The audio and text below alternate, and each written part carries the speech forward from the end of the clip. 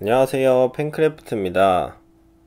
여러분들의 열렬한 성원에 힘입어서 한글 정자체 강의에 이어서 심화 강의인 한글 흘림체 강의까지 오픈할 수 있게 되었습니다.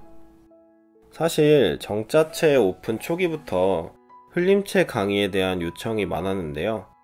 정자체가 어느 정도 숙달이 되어야 흘림체 강의를 들을 수 있는 관계로 1년이 지난 지금 오픈하게 된 점 정말 죄송하게 생각합니다 한글 흘림체 강의는 한글 정자체 강의를 들었거나 한글 정자체 골격에 대한 이해가 있으신 분들을 대상으로 하는 강의입니다. 따라서 정자체는 이미 알고 있다는 가정하에 수업을 진행하는 점 양해 부탁드릴게요. 한글 흘림체는 정자체보다 디테일이 더 많기 때문에 더 꼼꼼하게 보셔야 돼요. 정자체와 달리 흘림체는 조금만 어설퍼도 금방 티가 나기 때문인데요.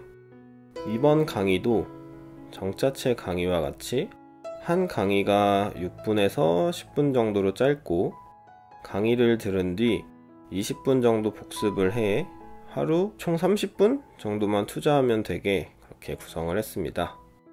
그러면 이번에도 저와 함께 한글 흘림체를 마스터하러 가보실까요? 한글 흘림체까지 익히시면 어디 가서 절대 글씨로 꼴릴 일은 없을 겁니다. 다음 시간에는 세 번째 하는 제 소개로 돌아오도록 하겠습니다.